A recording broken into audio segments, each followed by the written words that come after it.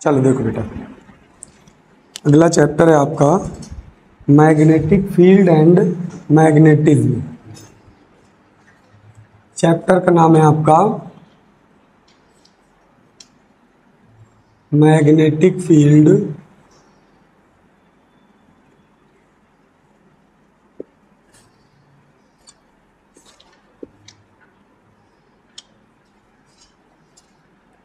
And magnetism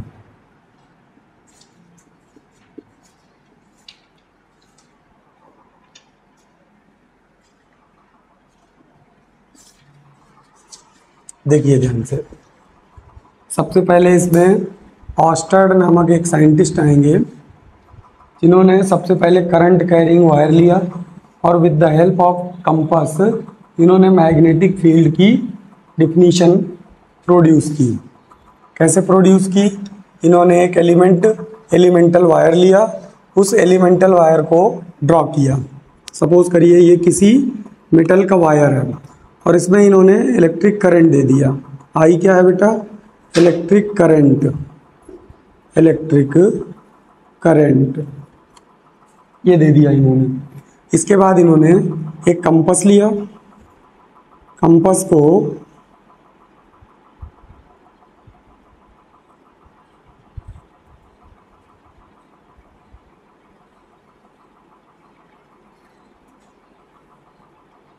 north south.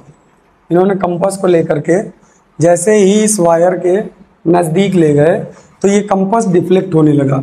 यहाँ पे क्या उत्पन्न हो गया? डिफ्लेक्शन होने लगा। जैसे ही डिफ्लेक्शन होने लगा, वैसे ही इनको पता चला कि जब भी हम किसी मैग्नेटिक वायर को इलेक्ट्रिक करंट देते हैं तो वो अपने चारों ओर एक फ़ील्ड क्रिएट करता है और उस फ़ील्ड को हम क्या कहते हैं? मैग्नेटिक फ़ील्ड कहते हैं। तो यहाँ पे डिफिनीशन बनेगी मैग्नेटिक फ़ील्ड की। Current carrying current carrying, wire, produces, current carrying, wire, produces, magnetic field magnetic field, around itself. Itself अपने ही चारों ओर एक फ़ील्ड बना लेता है। और उसी फ़ील्ड को आप क्या कहते हो? मैग्नेटिक फ़ील्ड कहते हो। बट कंडीशन है। कंडीशन पहली लाइन में लिखी है।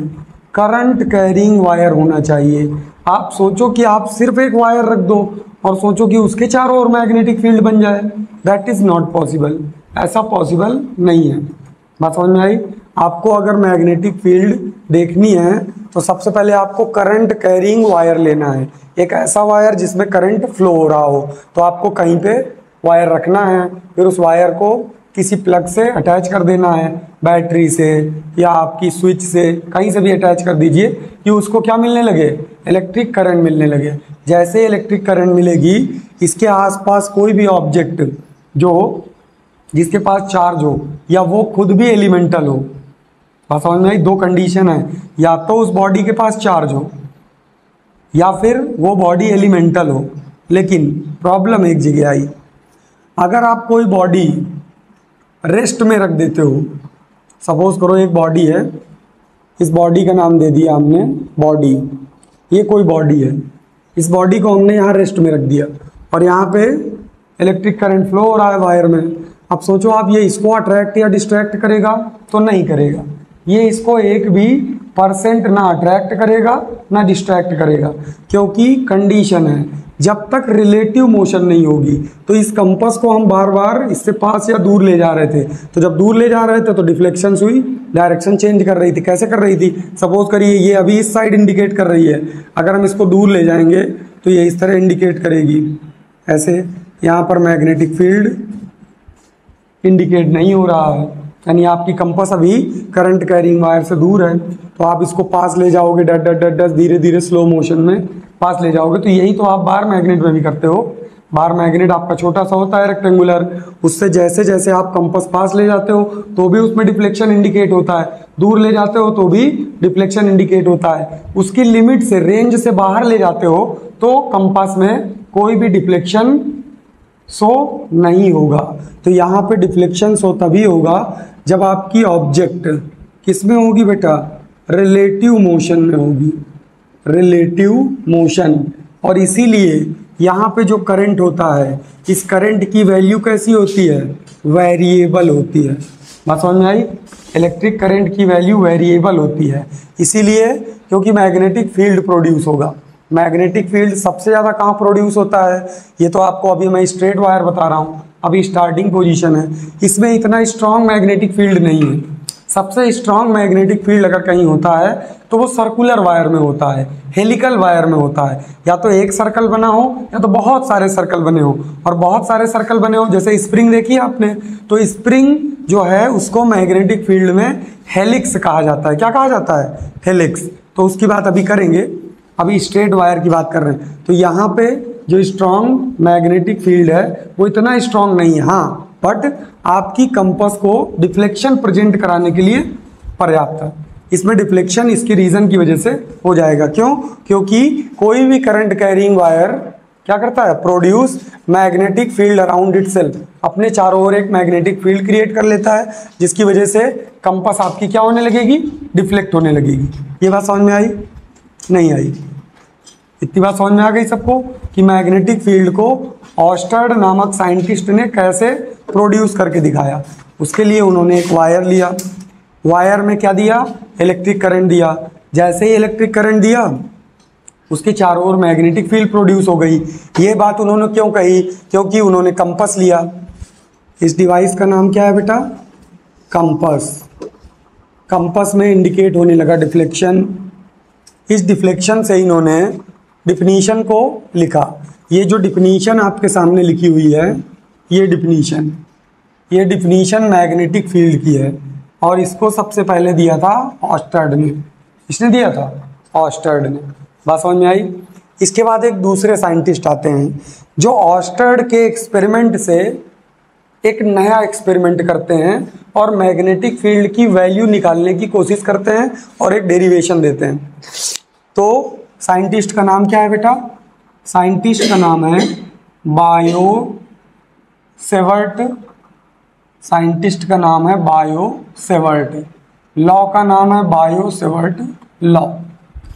इन्होंने इनके एक्सपेरिमेंट को देखा और देखने के बाद में रिज़ल्ट दिया। क्या रिज़ल्ट दिया? इन्होंने कहा कि किसी भी वायर को अगर आप इलेक्ट्रिक करंट देते हो तो उसमें जितना ज़्यादा इलेक्ट्रिक करंट आप दोगे उतना ही ज़्यादा मैग्नेटिक फ़ील्ड प्रोड्यूस होता है। अगर इलेक्ट्रिक करंट की वैल्यू कम है तो मैग्नेटिक फ़ील्ड भी कम होगा। इलेक्ट्रिक करंट को आप इंक्रीज करोगे तो मैग्नेटिक फ़ील्ड भी इंक्रीज होगा। ये दोनों ही एक दूसरे के डायरेक्टली प्रोपोर्शनल होते हैं। अगर आप इलेक्ट्रिक करंट की वैल्यू आई की वैल्यू को आप इंक्रीज करोगे तो आपकी मैग्नेटिक फ़ील्ड भी क्या हो जाएगी? इंक्रीज हो जाएगी। बात समझ में आई? दूसरा रिज़ल्ट इन्होंने दिया। डीबी प्रोपोर्शनल डीएल यानी कि अगर आप D B proportional D L इन्होंने कहा कि जितना अमाउंट वायर का होगा, यानी जितनी ज़्यादा लेंथ होगी वायर की, उतना ही ज़्यादा मैग्नेटिक फ़ील्ड होगा। अगर आप एक छोटा सा वायर ले रहे हो, उसके अंदर इलेक्ट्रिक करंट फ्लो कर रहा है तो आपका मैग्नेटिक फ़ील्ड छोटा सा होगा। अगर आपको बहुत ज़्यादा मैग्नेटिक फ़ील्ड प्रोड्यूस कराना है तो आपके वायर की लेंथ भी क्या होनी चाहिए? ज़्यादा होनी चाहिए। तो डीएल जितना ज़्यादा होगा, उतना ही ज़्यादा आपका मैग्नेटिक फ़ील्ड होगा। तो यहाँ से भी रिज़ल्ट दिया इन्होंने। डीएल को इंक्रीज करिए, मैग्नेटिक फ़ील्ड अपने आप इंक्रीज हो जाएगी। बात समझ में आई? फिर फोर्थ रिज़ल्ट इन्होंने दिया। यहीं से D B proportional sine theta इन्होंने कहा कि जिस पॉइंट पे आप डायग्राम बना लेते हैं, इसको समझने के लिए सेम डायग्राम जो ऑस्टर्ड ने दिया था। ऑस्टर्ड का सेम डायग्राम था बायोसेवर्ट ने भी सेम डायग्राम यूज़ किया। अब सपोज़ करिए कि बायोसेवर्ट कह रहे हैं कि ये पॉइंट पी है और इस पॉइंट पी पर इस एलिमेंट केवल इतने से एलिमेंट छोटे से एलिमेंट डी एल सपोज़ करिए इस वायर की लेंथ एल है और बायो सेवर्ट ने कहा कि डीएल की वजह से पॉइंट पी पे कितना मैग्नेटिक फ़ील्ड होगा। तो यहाँ से इस वायर ऑफ़ लेंथ और पॉइंट के पी के बीच में डीएल और पॉइंट के बी के बीच में जो एंगल बन रहा है, इसकी साइन की वैल्यू डिपेंड करेगी। जितनी ज़्यादा साइन की वैल्यू होगी, उतनी ही ज़्यादा आपकी मैग्नेटिक फ़ील्ड पॉइंट पी पे इंडिकेट होगी। साइन की वैल्यू डिक्रीज करेगी तो मैग्नेटिक फ़ील्ड भी डिक्रीज करेगा। इसीलिए इन्होंने कहा कि D B proportional sine theta यानी आप साइन थीटा को इंक्रीज करते जाइए। साइन थीटा की वैल्यू इंक्रीज होगी तो मैग्नेटिक फ़ील्ड भी आपका इंक्रीज हो जाएगा। फोर्थ रिज़ल्ट इन्होंने दिया। सपोज़ करिए कि डीएल से पॉइंट पी के बीच की डिस्टेंस, यहाँ से पॉइंट पी और डीएल के बीच की जो डिस्टेंस है आर इन्होंने कहा कि D B is directly inversely proportional R square that means अगर आप आर की वैल्यू इंक्रीज करोगे तो आपका मैग्नेटिक फ़ील्ड क्या होने लगेगा? डिक्रीज होने लगेगा। सबसे पहला रीजन इलेक्ट्रिक करंट ज़्यादा मैग्नेटिक फ़ील्ड ज़्यादा। इलेक्ट्रिक करंट कम मैग्नेटिक फ़ील्ड कम। दूसरा रिज़ल्ट डीएल यानी length of wire length of wire increase करोगे मैग्नेटिक फ़ील्ड इंक्रीज हो जाएगी. लेंथ ऑफ़ वायर डिक्रीज करोगे मैग्नेटिक फ़ील्ड भी डिक्रीज हो जाएगी. साइन थीटा की वैल्यू जितने ज़्यादा डिक्रीज करोगे मैग्नेटिक फ़ील्ड डिक्रीज हो जाएगी. साइन थीटा मैक्सिमम करोगे. अब मैक्सिमम में अगर साइन थीटा इनकेस 90 डिग्री हो जाता है तो यहाँ पे जो आपकी मैग्नेटिक फ़ील्ड होगी, वो मैक्सिमम हो जाएगी. साइन थीटा अगर आपका 90 हो जाता है तो यहाँ पर आपकी मैग्नेटिक फ़ील्ड क्या हो जाएगी बेटा? मैक्सिमम हो जाएगी। बात समझ में आई? नहीं आई। इतनी बात समझ में आ गई कि क्या क्या रिज़ल्ट बताए बायोसिवर्ट ने? सबसे पहला, करेंट फिर डीएल फिर साइन डीटा और फिर आर स्क्वायर। इन्होंने कहा जैसे जैसे पॉइंट पी आपका दूर जाएगा जैसे जैसे पॉइंट पी आपका दूर जाएगा वैसे वैसे आपकी मैग्नेटिक फ़ील्ड डिक्रीज होती जाएगी पर्टिकुलर पॉइंट पर। आप और दूर जाओगे, आपकी मैग्नेटिक फ़ील्ड और ज़्यादा डिक्रीज हो जाएगी। दैट मीन्स आर की वैल्यू अगर इंक्रीज करोगे तो डीबी आपका क्या हो जाएगा? डिक्रीज हो जाएगा। बात समझ में आई? नहीं आई। अब इन चारों इक्वेशन को इन्होंने कंबाइंड कर दिया।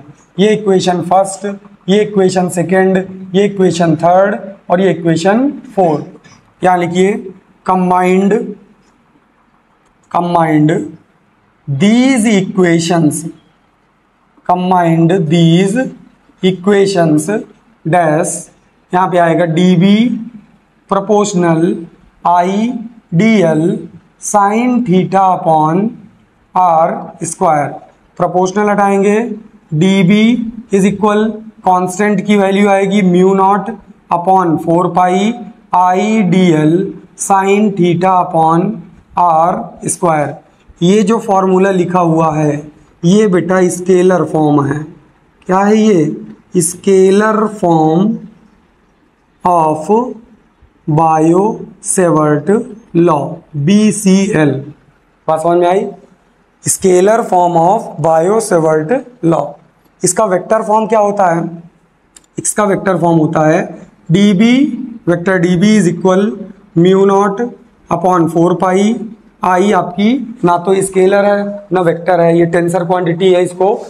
पूरा मैंने डिस्क्राइब करके बताया था। तो इसके ऊपर कभी वेक्टर मत लगा दीजिएगा, जबकि इसके पास डायरेक्शन भी होती है। अब यहाँ आपको साइन थीटा को रिमूव करना है और यहाँ लिखना है vector D L cross vector R upon R cube ये आपका वेक्टर फॉर्म है। ये क्या है बेटा? Vector form of Biot Savart law Biot Savart law ये आपका वेक्टर फॉर्म है। आपने वेक्टर पढ़ा होगा। थोड़ा सा फिर बता देता हूँ आपको। लास्ट में आपको ले चलते हैं हम सीधे वेक्टर में। जहाँ पे हमने आप, आपको ये बताया था। I cap J cap K cap बताया था बेटा? एक्स की डायरेक्शन वाई की डायरेक्शन जेड की डायरेक्शन याद है कुछ थोड़ा बहुत? नहीं याद है।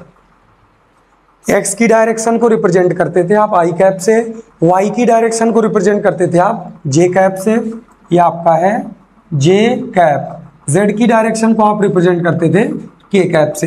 तो यहाँ पे हमने आपको बताया था कि जहाँ पर भी क्रॉस प्रोडक्ट होगा सपोज़ करिए कि लिखा हुआ है vector I cross vector J तो यहाँ पे आई क्रॉस जे करेंगे तो आई और जे के बीच का एंगल कितना है? 90 तो जब भी क्रॉस प्रोडक्ट होगा साइन थीटा आएगा। तो यहाँ आप लिखोगे आई क्रॉस जे यहाँ पे आएगा साइन 90 और साइन 90 की वैल्यू कितनी होती है? वन।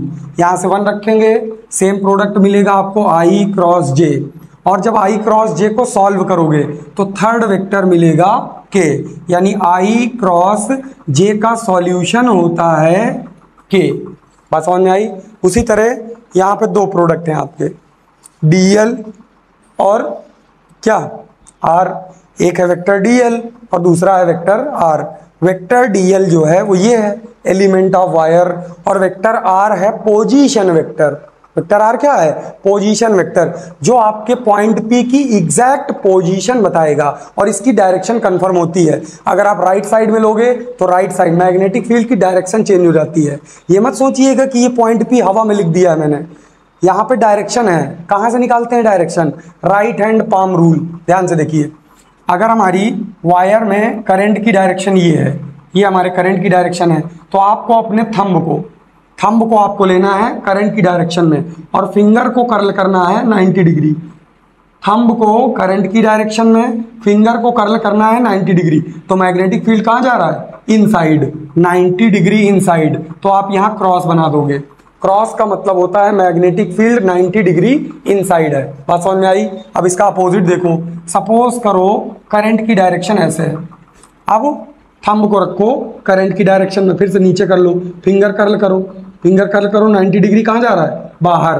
तो यहाँ पे आपको सिंबल बनाना है डॉट का। जहाँ पे डॉट का सिंबल बना हो मैग्नेटिक फ़ील्ड में, समझ जाइए मैग्नेटिक फ़ील्ड आउटसाइड है 90 डिग्री जहाँ पे क्रॉस बना हो, समझ जाइए मैग्नेटिक फ़ील्ड इनसाइड है 90 डिग्री बात समझ में आई? नहीं आई। अगर करंट की डायरेक्शन अप साइड है क्रॉस बनाएँगे।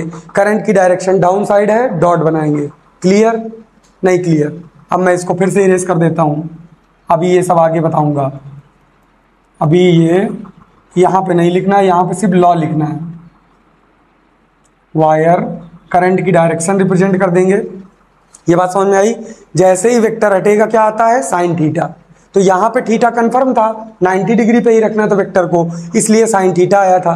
जैसे ही हटाओगे, दूसरा वेक्टर आता है. तो यहाँ पे ध्यान से देखिए अब. जहाँ हमने वेक्टर फॉर्म लिखा है। जैसे ही आप वेक्टर हटाओगे, यहाँ से सपोज़ करो आपने वेक्टर हटाया। Vector हटाओगे D B is equal mu not upon four pi I vector हटा दिया हमने।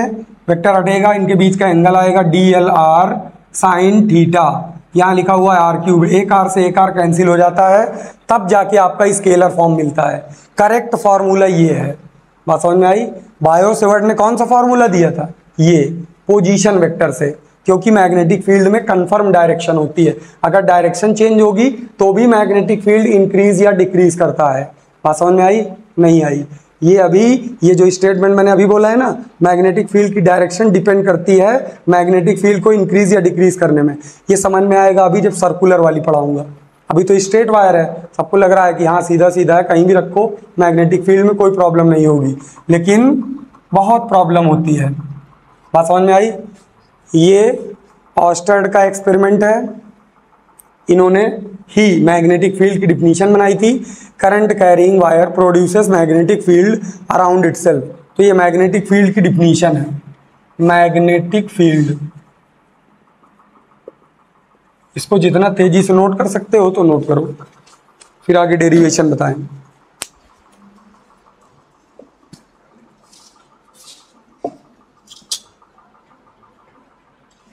आज ये सब कहाँ विलुप्त हो गए?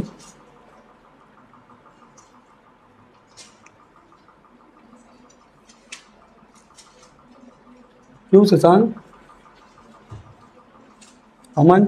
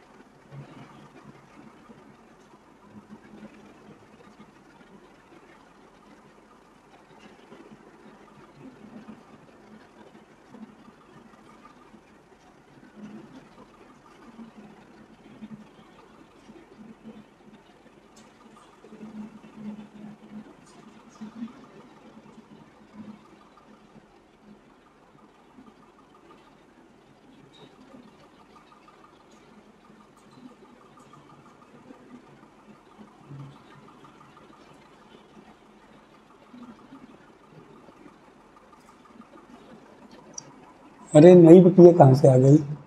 मुझे लगा श्रेया है। श्रेया कहाँ चली गई आज?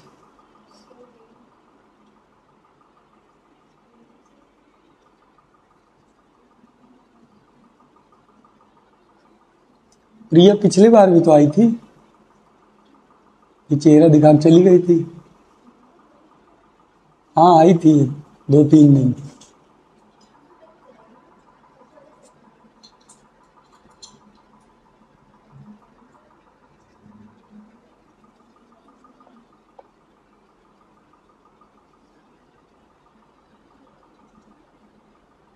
प्रिया, सैटरडे को तुम क्यों नहीं आई थी? किसी दिन मैं वहीं आके मम्मी सामने मारूँगा समझ लेना। मम्मी को बेवकूफ़ बनाती रहती हो? अब देखो, कभी बहाना बना दुख सो गई थी। थोड़ी चिंता तो होनी चाहिए ना।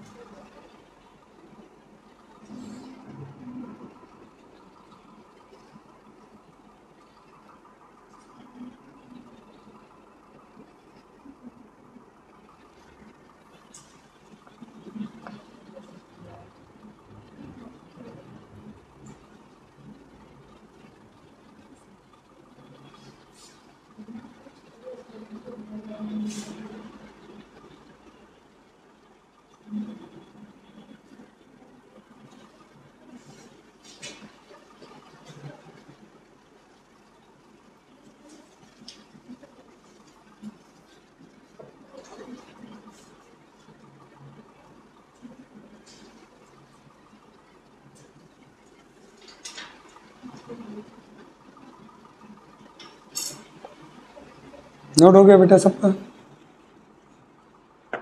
नोट हो गया सबका? ओम बाबू।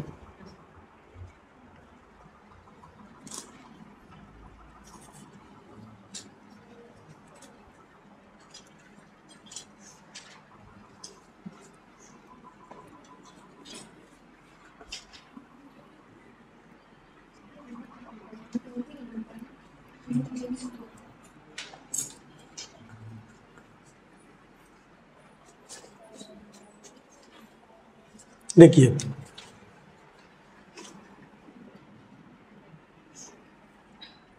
सबसे पहले मैग्नेटिक फ़ील्ड के फॉर्मूले से जो भी फॉर्मूला आया था, B इज़ इक्वल या D B D B is equal mu not upon four pi I D L sine theta upon R square magnetic field की यूनिट क्या क्या होती है? डीबी की यूनिट। मैग्नेटिक फ़ील्ड की एक यूनिट होती है टेस्ला, जिनका पूरा नाम है निकोलस टेस्ला। ये सबसे फ़ेमस यूनिट है। एम की है। और दूसरी यूनिट जो फार्मूले से आती है, वो है और करके लिखिए। और newton upon ampere metre newton upon ampere metre. Third unit है गॉस। गॉस, जो आपने फ़र्स्ट चैप्टर में गॉस थ्योरम पढ़ी है, उनका भी यहाँ योगदान है। तो गॉस भी इसकी यूनिट होती है बट ये सीजीएस है। ये दोनों एम के एस हैं।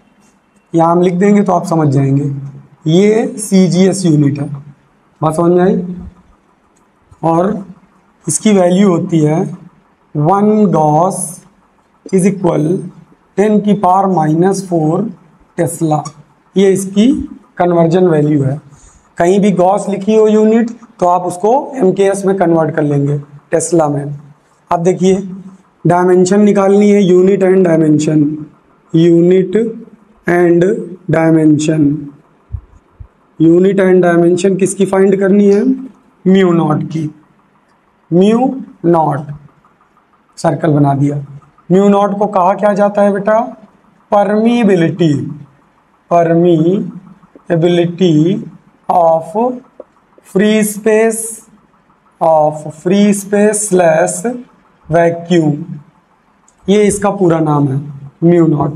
और इसी कांस्टेंट की हमें यूनिट और डायमेंशन फाइंड करनी है। सबको एक तरफ़ कर लीजिए, म्यू नॉट को एक तरफ़ कर लीजिए।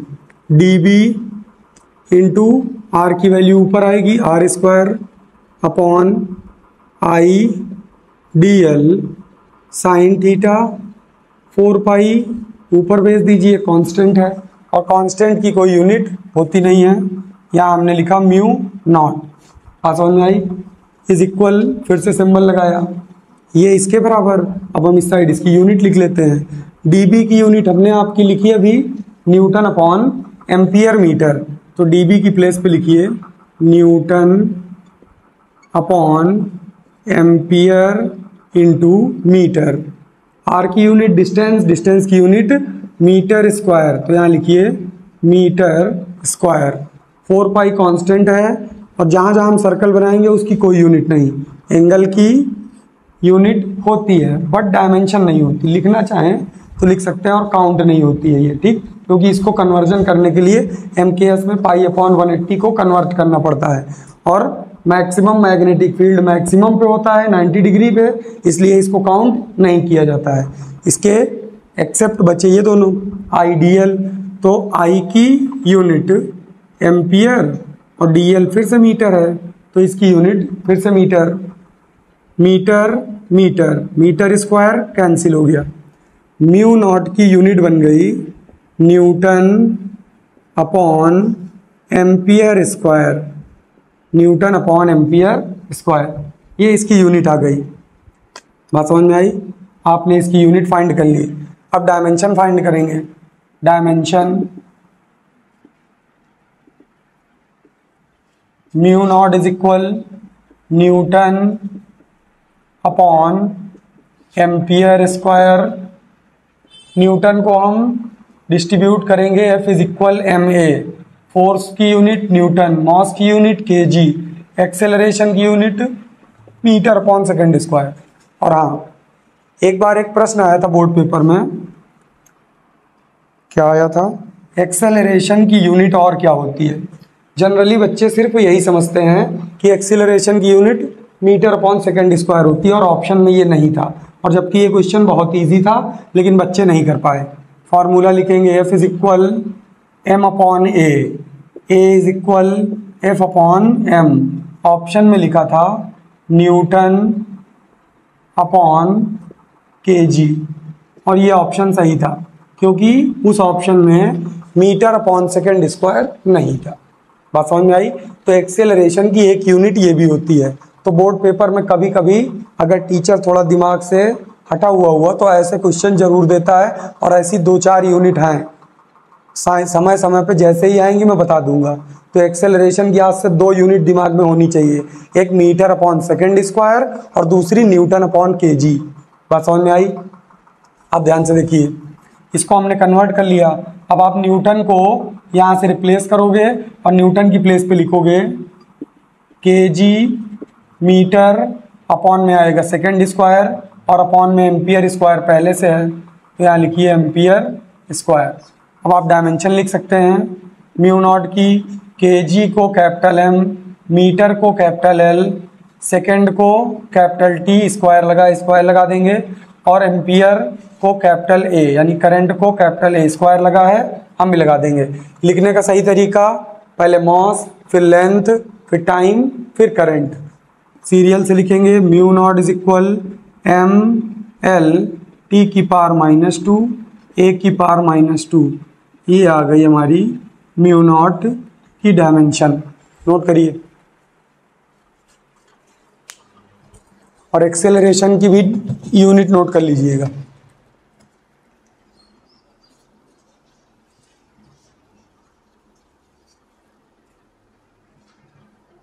और यहाँ पे चाहे तो एक चीज़ और लिख लीजिए, इसका डाउट ही ख़त्म हो जाएगा। थीटा इज़ इक्वल नाइन्टी और साइन नाइन्टी की वैल्यू वन।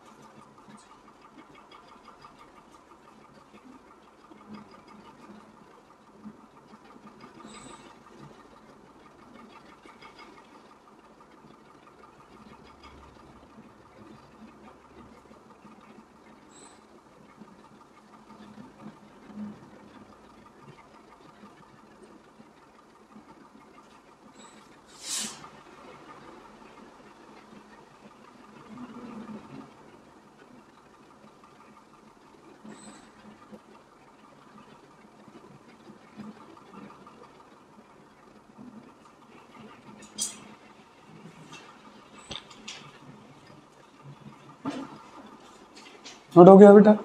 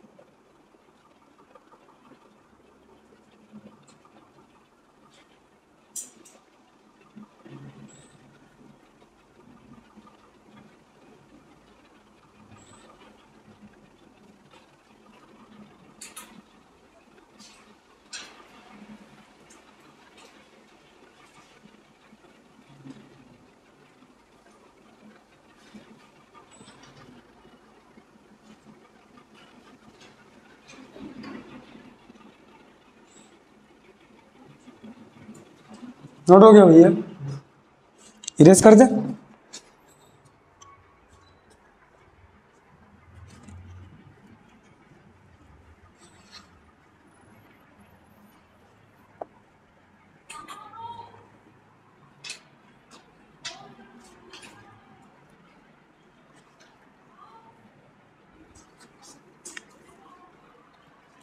अब डेरिवेशन देखिए ध्यान से।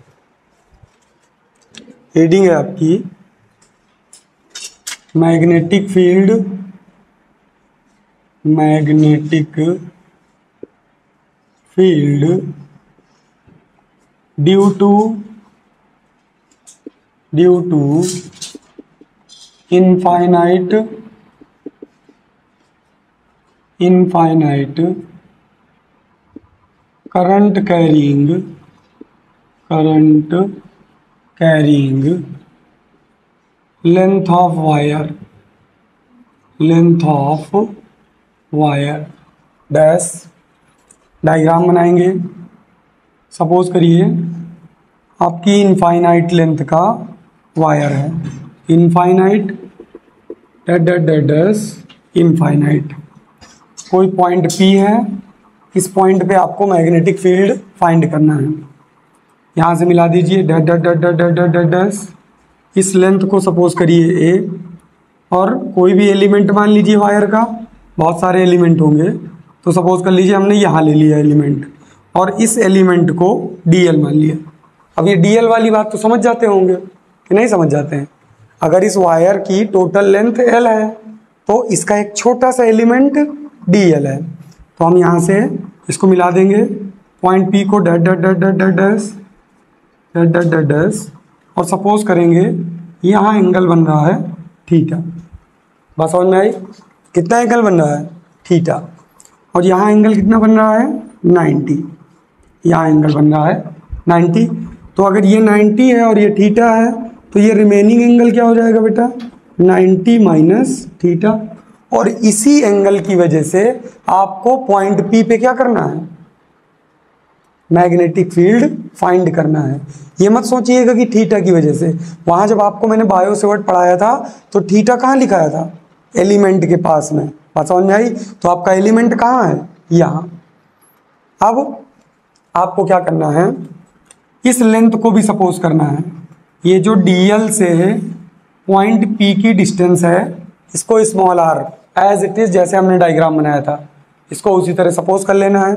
सपोज़ करने के बाद में अब आपको लिखना है according to according to Biot Savart law पहले फॉर्मूला लिखेंगे फ्रॉम जिसका आप यूज़ करेंगे D B is equal mu not upon four pi I D L sine theta upon R square इसको आप यूज़ करेंगे। अब आप अपने डायग्राम के अकॉर्डिंग फार्मूला लिखेंगे। क्या लिखेंगे? D B is equal mu not four pi I D L sine ninety minus theta upon R square ये बात समझ में आई? नहीं आई। यहाँ पे क्या नहीं लिखा हमने? इलेक्ट्रिक करंट यहाँ पे आपको इलेक्ट्रिक करंट की डायरेक्शन कहीं भी शो कर दीजिए, ऊपर नीचे, उससे कोई फ़र्क नहीं पड़ता। डायरेक्शन चेंज हो जाएगी किसकी? मैग्नेटिक फ़ील्ड की। आप ध्यान से देखिए। आप सभी ने पढ़ रखा है। क्या पढ़ रखा है? साइन 90 माइनस थीटा की वैल्यू क्या होती है? साइन 90 माइनस थीटा क्या होता है? कॉस थीटा तो हम यहाँ लिखेंगे sine 90 minus theta is equal cos theta और इसको यहाँ पे उठा के लिख देंगे। और इसको ब्रैकेट में इस तरीके से इंडिकेट करेंगे। D B is equal mu not upon four pi I D L यहाँ लिखेंगे cos theta upon R square अब हम यूज़ करेंगे अपनी लेंथ का जो हमने सपोज़ की है और यहाँ से वैल्यू निकालेंगे।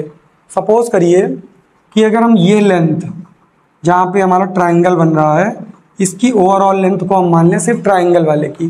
कौन सा ट्रायंगल ये पॉइंट पी है। इसको ओ सपोज़ इसको क्यू सपोज़ कर लिया? तो इसको ओ सपोज़ कर लीजिए। ट्राइंगल ओ पी क्यू अगर हम इस ट्राइंगल में टेन थीटा लगा दें, क्या लगा दें? टेन थीटा तो टेन थीटा इज़ इक्वल क्या हो जाएगा बेटा? Perpendicular upon base perpendicular upon base बात समझ में आई? नहीं आई। यहाँ लगाएँगे परपेंडिकुलर अपॉन बेस परपेंडिकुलर कौन है? एल। बेस कौन है? ए। नहीं समझ में आई बात? Perpendicular upon base. L upon A. कोई प्रॉब्लम? किसी को भी। ट्राइंगल देख लीजिए। क्या लिखा है हमने? O, P, Q. ये आपका एंगल थीटा है। थीटा के सामने वाली साइड परपेंडिकुलर। तो ये परपेंडिकुलर हो गई और ये बेस हो जाएगा। तो एल अपॉन ए। अगर हम यहाँ से एल की वैल्यू के टर्म में, यानी एल के टर्म में लिखें तो हम इसको लिख सकते हैं L is equal A tan theta बात समझ में आई? नहीं आई। अब हम इसका थीटा के रेफरेंस में डिफ्रेंसिएशन करेंगे।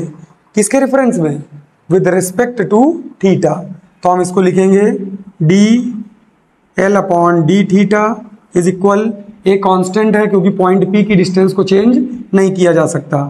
A D tan theta upon D theta tan theta का डिफ्रेंसिएशन साइड में इंडिकेट करिए.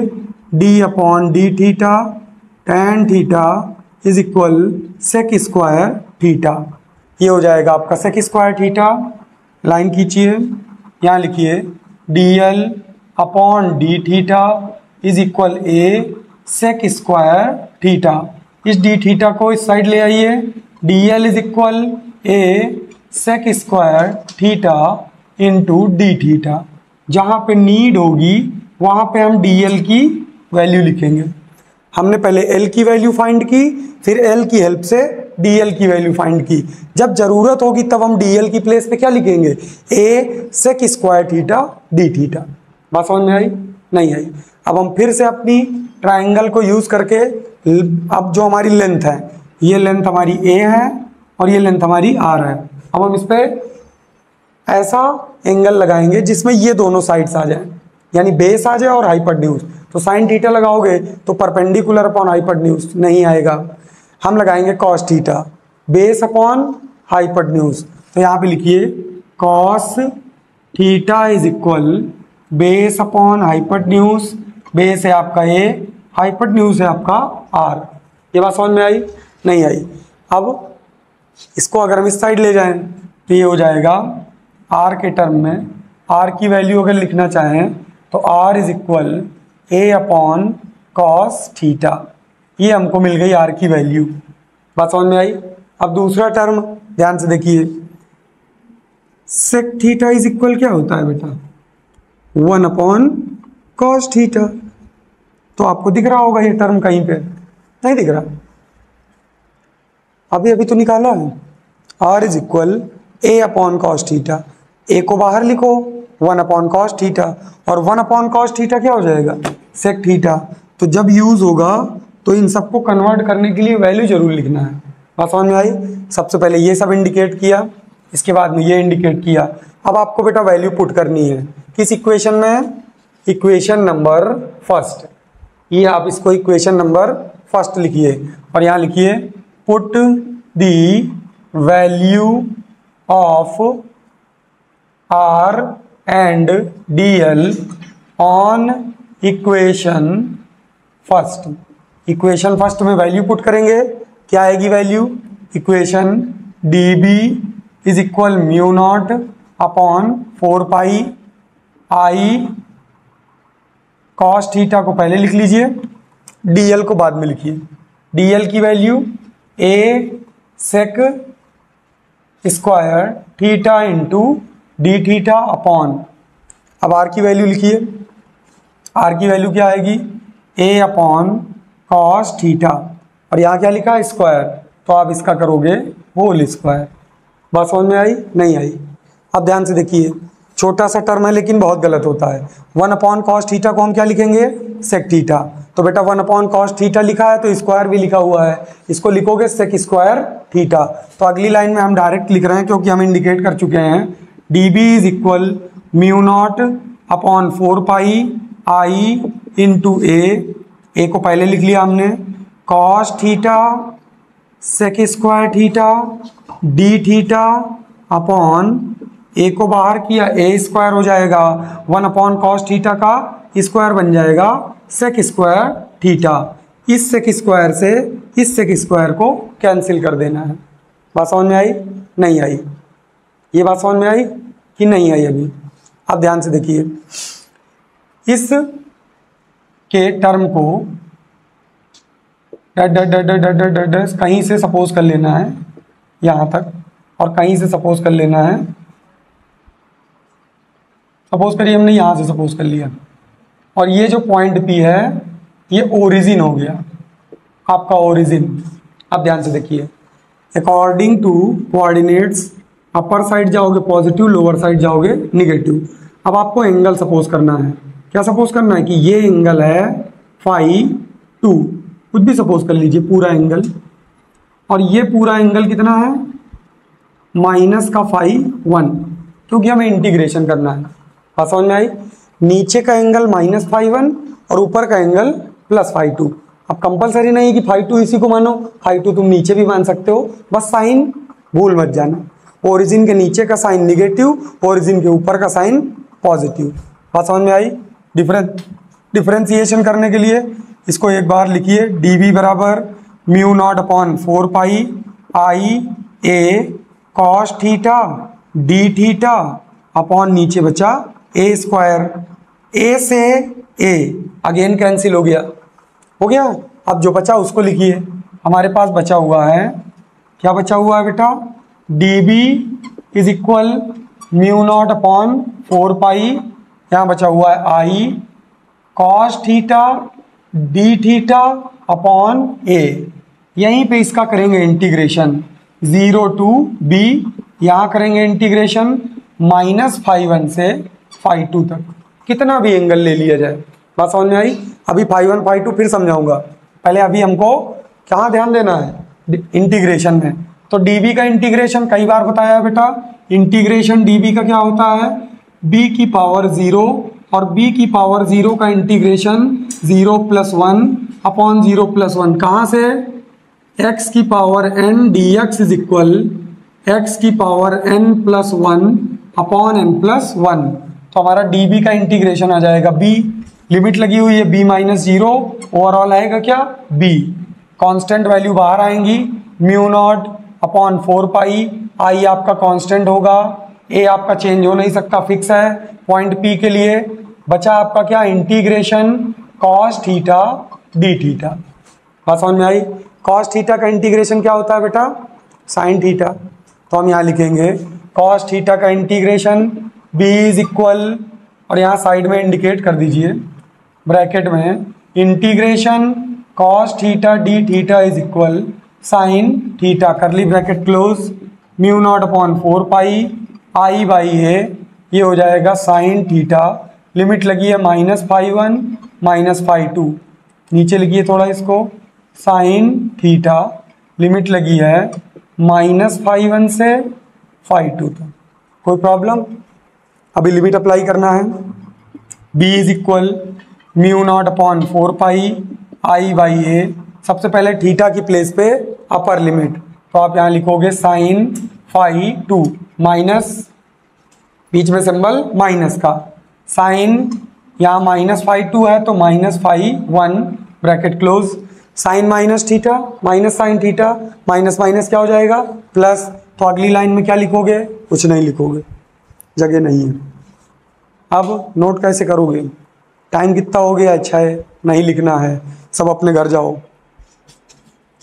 मैं फ़ोटो खींच के गर्ल्स में एक में भेज दूँगा बॉयज़ में एक में भेज दूँगा। ठीक? सबके पास फ़ोन है? नहीं है। है ना? तो तुम्हारे पास कैसे जाएगा? तुम्हारे पास गया तो इसके पास चला जाएगा।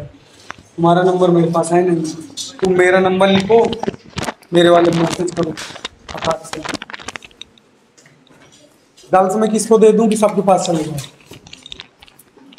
क्यों? अनुष्का, तुमको भेज दे? वाले भेज देंगे, तुम सबको भेज देना नंबर मेरा लिखो ना, seven three seven nine, seven